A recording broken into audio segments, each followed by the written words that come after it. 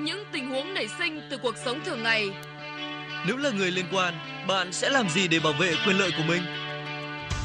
Các luật sư chuyên gia hàng đầu sẽ tư vấn giúp bạn. Chuyên mục Bạn và pháp luật phát sóng vào 20 giờ thứ hai hàng tuần trong chương trình phát thanh Vì an ninh Tổ quốc phát trên VOV1 Đài Tiếng nói Việt Nam.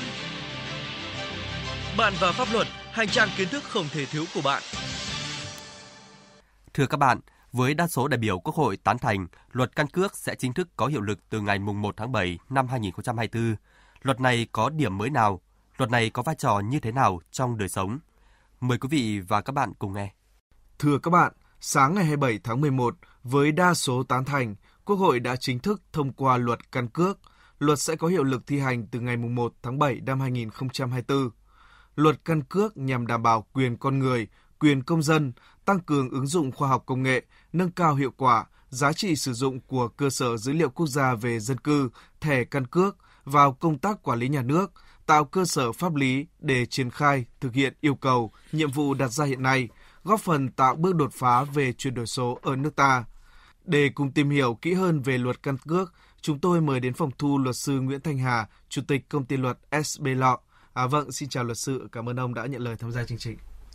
Vâng, uh, xin chào biên tập viên Vương Dũng và xin chào thính giả của Đài Tiếng Nói Việt Nam.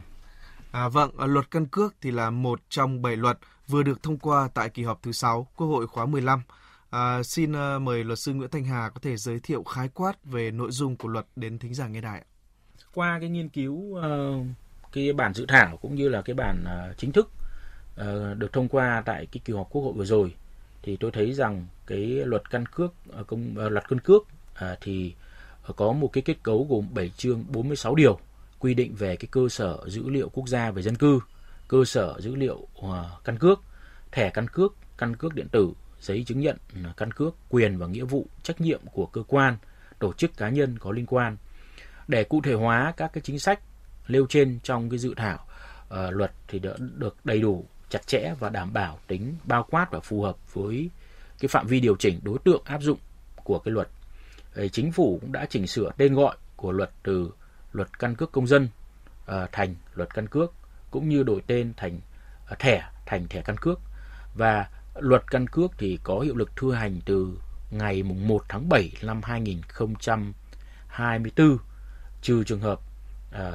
quy định tại khoản 2 điều 45 luật này. Uh, quy định tại khoản 3 điều 46 của luật này thì có hiệu lực thi hành uh, từ ngày 15 tháng 1 năm 2024. Thì một số các cái chính sách nổi bật trong cái luật căn cước công dân thì tôi có thể uh, nêu ra như sau. Về cái nội dung thể hiện trên cái thẻ căn cước thì uh, luật bổ sung theo cái hướng là uh, lược bỏ cái vân tay, sửa đổi quy định về thông tin về thẻ căn cước, quê quán, nơi thường trú, chữ ký của người uh, cấp thẻ thành số cái định danh cá nhân, nơi đăng ký khai sinh, nơi cư trú và cái việc thay đổi cải tiến như trên để tạo thuận lợi cho người dân trong cái quá trình sử dụng thẻ căn cước. Thứ hai là luật cũng bổ sung uh, cái quy định thu thập uh, cái mống mắt trong uh, cái thông tin sinh chắc uh, học của căn cước để làm cơ sở đối soát và xác thực cái thông tin của mỗi cá nhân. Và luật hiện nay uh, luật này còn áp dụng đối với công dân Việt Nam, người gốc Việt Nam chưa xác định được quốc tịch đang sinh sống tại Việt Nam, cơ quan tổ chức cá nhân ở có liên quan. Và đặc biệt thì luật đã cho phép công dân Việt Nam từ đủ 14 tuổi trở lên được cấp thẻ căn cước và công dân Việt Nam mà dưới 14 tuổi được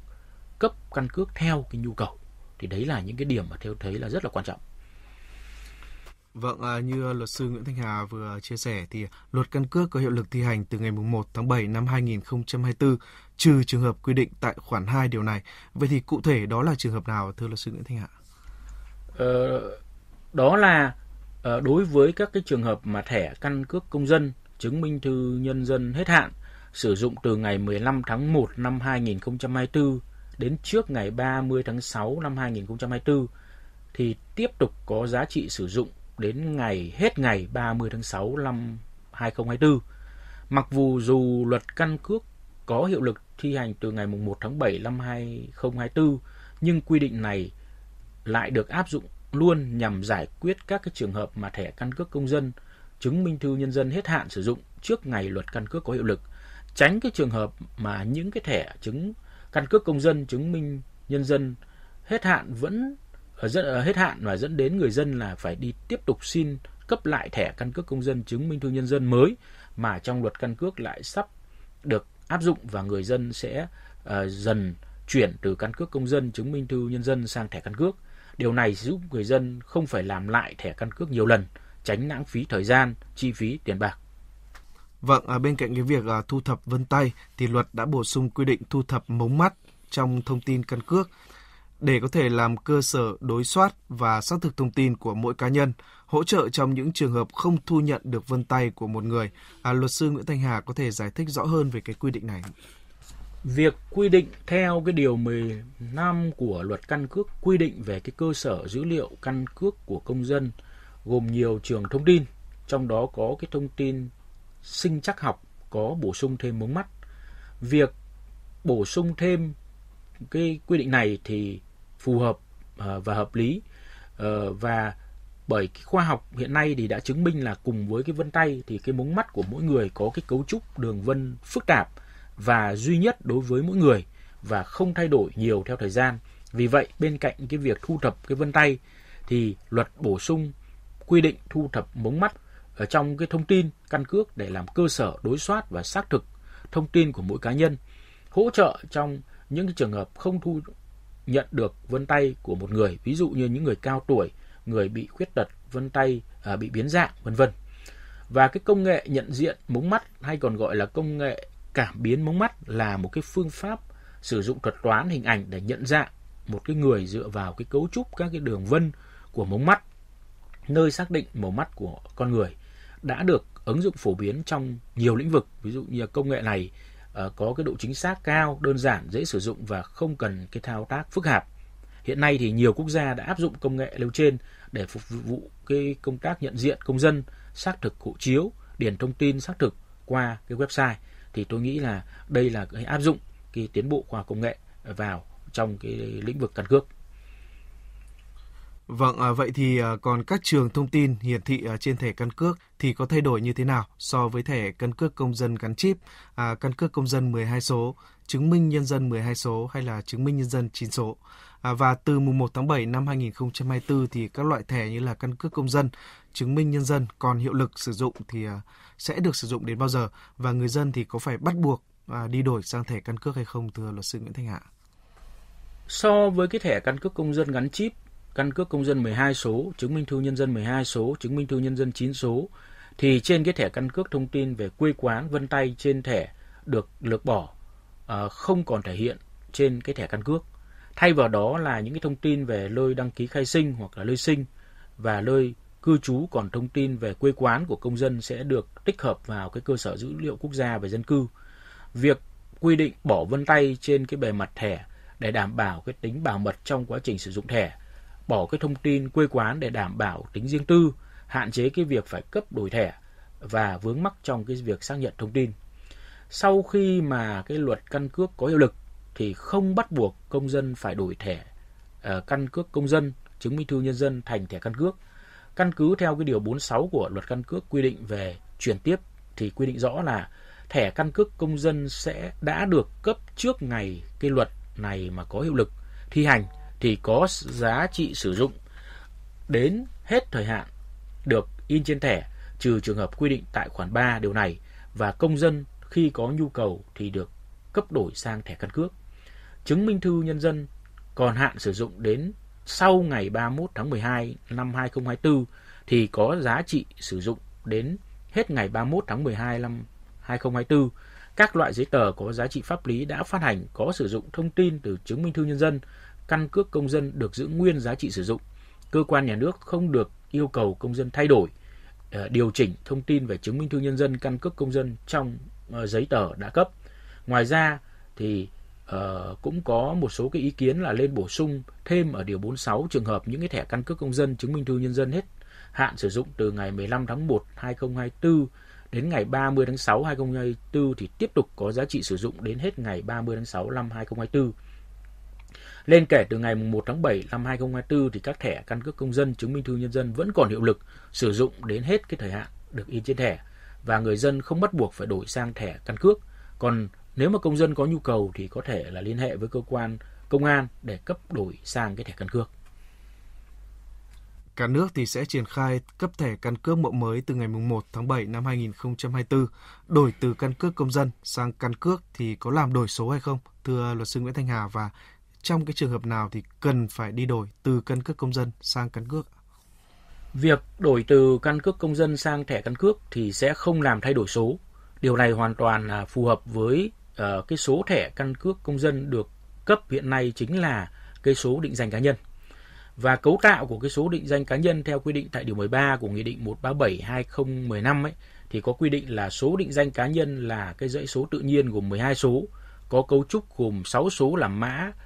Ờ, ờ, uh, uh, thẻ uh, ờ, thẻ ký uh, kỷ sinh, mã giới tính, mã năm sinh của công dân, mã tỉnh, thành phố trực thuộc trung ương hoặc mã quốc gia nơi công dân đăng ký khai sinh và 6 số là khoảng số ngẫu nhiên. Số định danh là cái dãy số mà xác định nhân thân của mỗi công dân do Bộ Công an cấp và quản lý thống nhất trên toàn quốc và mỗi công dân được cấp một số định danh duy nhất từ khi sinh ra cho đến khi mất đi và không lặp lại ở người khác. Số định danh cá nhân được xác lập từ cơ sở dữ liệu quốc gia về dân cư dùng để kết nối, chia sẻ, cập nhật, khai thác thông tin của công dân. Uh, cho nên uh, từ số thẻ căn cước công dân uh, vẫn giữ nguyên khi chuyển sang cái thẻ căn cước. Và cũng theo quy định tại điều 46 luật căn cước quy định thì người dân không bắt buộc phải đổi sang thẻ căn cước. Người dân vẫn có thể tiếp tục sử dụng cái căn cước công dân cho đến khi hết hạn sử dụng được ghi trên thẻ, sau đó phải đổi sang uh, thẻ căn cước. Ngoài ra người dân muốn đổi từ căn cước công dân sang thẻ uh, căn cước sớm hơn thì có thể liên hệ với cơ quan công an để được cấp đổi sang thẻ căn cước. Trong luật căn cước vừa được Quốc hội thông qua thì có bổ sung một loại giấy tờ, đó là giấy chứng nhận căn cước. Ở đây thì là điểm mới hoàn toàn so với quy định cũ tại luật căn cước công dân. À, luật sư Nguyễn Thanh Hà có thể giải thích cụ thể hơn về tính năng cũng như là tác dụng của giấy chứng nhận căn cước và cơ quan nào thì có thẩm quyền cấp cái loại giấy này đến thính giả nghe lại. Theo cái quy định của luật căn cước thì cái giấy chứng nhận căn cước là cái giấy tờ tùy thân chứa đựng các cái thông tin về căn cước của người gốc Việt Nam chưa xác định được quốc tịch do cơ quan quản lý căn cước cấp theo cái quy định của luật. Điều này nhằm tạo thuận lợi cho người gốc Việt Nam được hưởng các cái quyền cơ bản của người dân. Bởi trên thực tế hiện nay do không có cái giấy tờ tùy thân thì những cái đối tượng này sẽ khó khăn trong cái việc đi lại giao dịch uh, sở hữu các tài sản. Thêm vào đó thì thực tế hoạt động mà bảo vệ an ninh chính trị trật tự an toàn xã hội thì uh, một số các cái đối tượng xấu lợi dụng những cái việc đối tượng này ờ, khó khăn trong cái việc đi lại giao dịch lao động do không có giấy tờ tùy thân nên đã xuyên tạc các cái đường lối các chính sách của cơ quan nhà nước. Uh, và uh, mặt khác thì khi xử lý những cái đối tượng này thì lực lượng chức năng khó khăn uh, uh, khi mà uh, những cái đối tượng này không có các cái giấy tờ tùy thân. Và cái giấy chứng nhận căn cước này thì sẽ được cấp tại cơ quan quản lý ở căn cước của công an cấp tỉnh công an cấp huyện nơi người gốc Việt Nam chưa xác định được quốc tịch sinh sống và người có thẩm quyền cấp là giám đốc công an tỉnh, thành phố à, trực thuộc trung ương. Trong luật căn cước thì có đề cập đến ờ, căn cước công dân điện tử. Vậy ờ, thế nào là căn cước công dân điện tử? À, và cái tính pháp lý của căn cước công dân điện tử thì như thế nào thưa luật sư Nguyễn Thanh Hạ?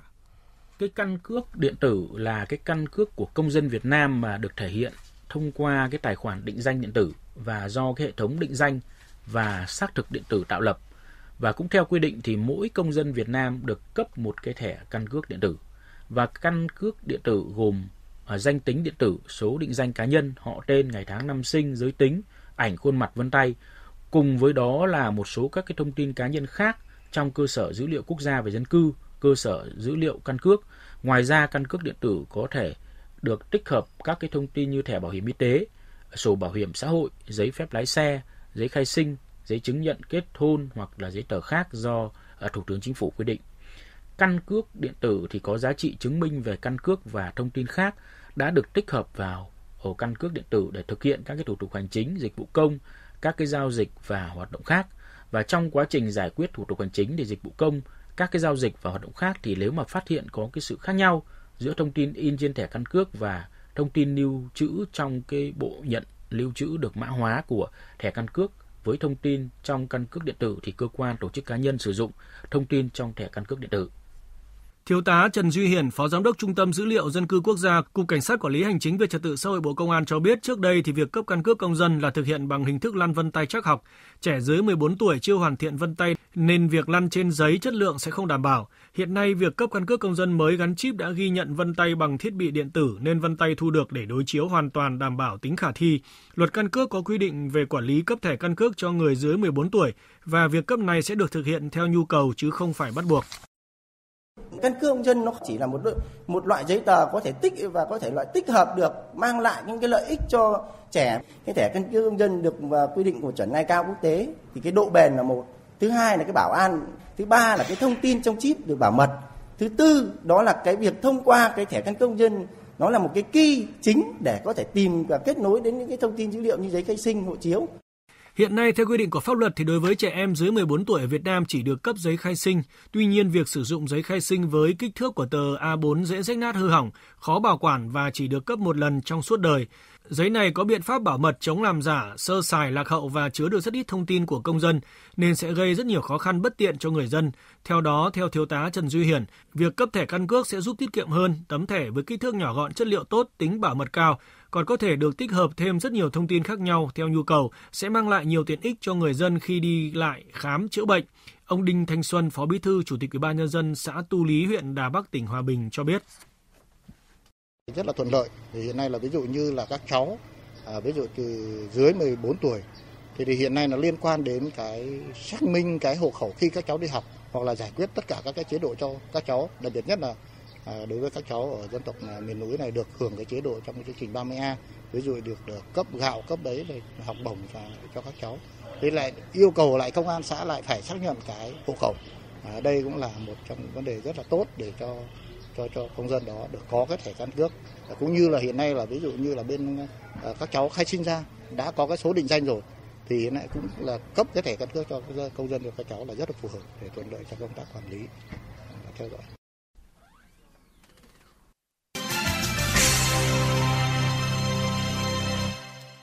Vâng, quay trở lại với vị khách mời của chương trình là luật sư Nguyễn Thanh Hà, Chủ tịch công ty luật SB Lọ. À, thưa ông, à, chương trình nhận được ý kiến của thính giả hỏi về thủ tục cũng như là trình tự cấp thẻ căn cước theo luật căn cước giống nhau hay khác nhau đối với người dưới 14 tuổi và người từ đủ 14 tuổi. À, xin mời luật sư Nguyễn Thanh Hà có thể giải thích cho quý vị thính giả. Căn cứ theo cái điều 23 của luật căn cước thì cái trình tự thủ tục cấp thẻ uh, căn cước uh, như sau là đối với người dưới 14 tuổi hoặc cha mẹ hoặc người giám hộ của người dưới 14 tuổi thì có quyền là đề nghị cơ quan quản lý uh, căn cước cấp cái thẻ căn cước. Với người ờ, dưới 6 tuổi thì cha, mẹ hoặc người giám hộ thực hiện cái thủ tục cấp thẻ căn cước thông qua cái cổng dịch vụ công. Trường hợp người dưới 6 tuổi chưa đăng ký khai sinh thì cha, mẹ hoặc người giám hộ thực hiện cái thủ tục cấp thẻ căn cước thông qua các cái thủ tục liên quan uh, liên thông với đăng ký khai sinh trên cổng dịch vụ công hoặc trực tiếp tại cơ quan quản lý căn cước cơ quan quản lý căn cước không thu nhận đặc điểm uh, nhận dạng và thông tin uh, sinh chắc học đối với người dưới 6 tuổi. Đồng thời uh, với cái người mà từ đủ 6 tuổi đến dưới 14 tuổi thì uh, cha mẹ hoặc người giám hộ của người đó đưa người đó đến cơ quan quản lý căn cước để thu nhận uh, đặc điểm nhận dạng và thông tin sinh chắc học sau đó kê khai ký thực hiện cái thủ tục cấp thẻ căn cước thay cho cái người đó và đối với người từ 14 tuổi trở lên thì người tiếp nhận sẽ kiểm tra đối chiếu các cái thông tin của người cần cấp thẻ từ cơ sở dữ liệu quốc gia về dân cư, cơ sở ở dữ liệu chuyên ngành để xác định chính xác cái người cấp thẻ căn cước. Ở trường hợp chưa có cái thông tin của người đó trong cơ sở dữ liệu quốc gia về dân cư thì người cấp thẻ căn cước phải thực hiện cái thủ tục cập nhật thông tin vào cái cơ sở dữ liệu quốc gia về dân cư. Người tiếp nhận thu nhận cái đặc điểm nhận dạng và thông tin sinh chắc học gồm ảnh khuôn mặt, vân tay, mống mắt của người ờ, cần cấp thẻ. Người cần cấp thẻ kiểm tra ký vào cái phiếu thu nhận thông tin căn cước. Người tiếp nhận cấp giấy hẹn trả thẻ căn cước, sau đó thì thẻ căn cước được trả theo cái địa điểm trong giấy hẹn và người cấp thẻ có yêu có yêu cầu trả thẻ tại địa điểm khác thì cơ quan quản lý uh, căn cước trả thẻ tại địa điểm theo yêu cầu và người đó phải trả cái chi phí dịch vụ chuyển phát. Trường hợp mà người mất năng lực hành vi dân sự, người có khả năng uh, khó khăn trong cái việc nhận thức uh, khó làm chủ cái hành vi phải có cha mẹ uh, hoặc là người giám hộ đến để làm thủ tục cùng. Như vậy theo quy định thì trình tự cấp thẻ căn cước sẽ có cái sự khác nhau đối với người dưới 14 tuổi và người từ đủ 14 tuổi. Cụ thể đối với trường hợp trẻ dưới 6 tuổi thì không lấy cái thông tin sinh chắc học mống mắt, còn người từ đủ 6 tuổi trở lên đều phải thực hiện lấy các thông tin mống mắt theo cái quy định.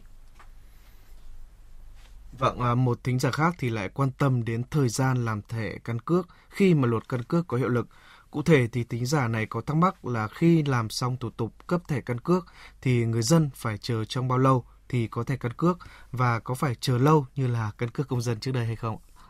Theo quy định tại điều 26 luật căn cước thì trong cái thời hạn 7 ngày làm việc kể từ ngày nhận đủ hồ sơ theo quy định của luật thì cơ quan quản lý căn cước phải cấp đổi cấp lại thẻ căn cước. Theo quy định của luật này thì thời gian chờ để được nhận uh, thẻ căn cước là 7 ngày làm việc. Tuy nhiên thì trên thực tế thì thời gian này có thể kéo dài hơn. Hiện nay với cái việc áp dụng công nghệ hiện đại và quy trình tự động hóa, thời gian chờ đợi đã đà giảm đáng kể và các cái cơ quan quản lý có thể tối ưu hóa cái quy trình để đảm bảo cái sự thuận tiện và nhanh chóng cho người dân. Tuy nhiên thì trên thực tế có cái sự chênh lệch giữa các cái địa phương và khu vực, một số địa phương thì có thể triển khai hệ thống làm thẻ căn cước hiệu quả hơn trong khi ở những cái nơi khác, có thể vẫn còn đối mặt với những thách thức gây khó khăn trong cái việc làm và cấp cái thẻ căn cước. Và ngoài ra ờ, đây là cái quy định mới nên trong thời gian tới nhiều người sẽ tiến hành đổi từ căn cước công dân sang thẻ căn cước việc lượng ờ, lớn người dân thực hiện. Điều này cũng làm ảnh hưởng đến cái quá trình làm và cấp thẻ căn cước. Nên để tránh cái tình trạng chờ lâu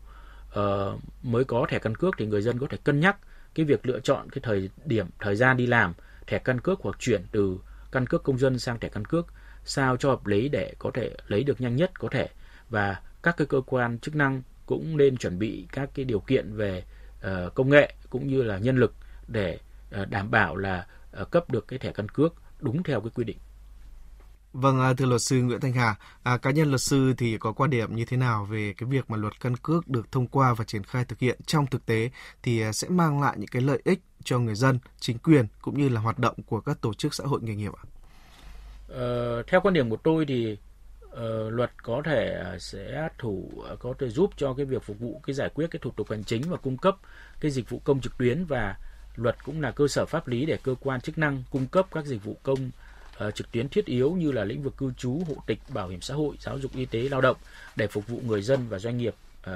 trên cái cơ sở là sử dụng xác thực chia sẻ cơ sở dữ liệu quốc gia về dân cư để cắt giảm đơn giản hóa cái thủ tục hành chính. Bên cạnh đó thì luật cũng uh, thiết thực phục vụ cái sự phát triển của kinh tế xã hội. Đây là cái cơ sở để nghiên cứu, triển khai cái ứng dụng các cái tính năng của chip điện tử trên thẻ căn cước đối với lại các lĩnh vực tài chính ngân hàng và một số các lĩnh vực phát triển kinh tế xã hội khác tích hợp và phát triển các cái ứng dụng trên cái nền tảng hệ thống định danh điện tử ở các cái ứng dụng ở cốt lõi như là ví điện tử thanh toán không dùng tiền mặt chứng khoán uh, lên ứng dụng uh, vn uh, eid hoặc là mã qr của thẻ căn gắn uh, chip điện tử. Uh, phục vụ cái sự phát triển của công dân số và hiện nay thì người dân có nhiều cái loại giấy tờ như là căn cước công dân, thẻ bảo hiểm y tế, thẻ bảo hiểm xã hội, giấy phép lái xe, giấy đăng ký xe và các loại bằng cấp chứng chỉ luật căn cước thì tạo thuận lợi cho người dân và từng bước thay thế các cái giấy tờ của người dân trong cái giao dịch tiến tới là người dân chỉ cần mang một cái thẻ chứ thay vì mang rất nhiều thẻ hiện nay. Bốn là hoàn thiện cái hệ thống uh, sinh thái phục vụ cái kết nối và khai thác bổ sung làm uh, đầy đủ các cái dữ liệu của dân cư và triển khai hiệu quả cái việc kết nối và chia sẻ cái cơ sở dữ liệu công dân cư quốc gia uh, đối với cơ sở dữ liệu khác, cơ sở uh, dữ liệu chuyên môn đã có như cơ sở dữ liệu giáo dục, cơ sở dữ liệu doanh nghiệp, cơ sở dữ liệu thuế, đảm bảo giải quyết các thủ tục ờ, của người dân một cách nhanh chóng và chính xác, thuận lợi phục vụ cho cái công tác phục vụ người dân. Vâng, à, xin được cảm ơn luật sư Nguyễn Thanh Hà đã tham gia chương trình và có những chia sẻ, phân tích cụ thể. Qua đó thì giúp thính giả nghe đài hiểu hơn về những quy định của luật căn cước cũng như những tiện ích, tính năng, tác dụng mà tấm thẻ này mang lại. Đến đây thì à, chương trình Bạn và Pháp luật tuần này đã hết. À, xin cảm ơn quý thính giả, các đồng chí và các bạn đã quan tâm theo dõi. Xin chào và hẹn gặp lại.